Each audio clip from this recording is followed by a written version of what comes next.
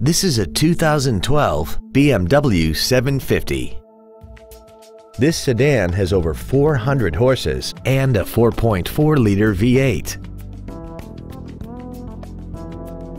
Its top features include a navigation system, a rear-view camera, comfort access, a moonroof, heated seats, an air suspension, cornering lights, adaptive brake lights, and a tire pressure monitoring system.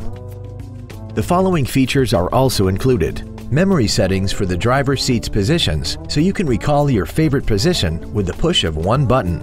Cruise control, an auto-dimming rear view mirror, Nappa leather interior, BMW individual composition, front and rear floor mats, front multi-stage airbags, latch-ready child seat anchors, a rear window defroster, and this vehicle has less than 50,000 miles.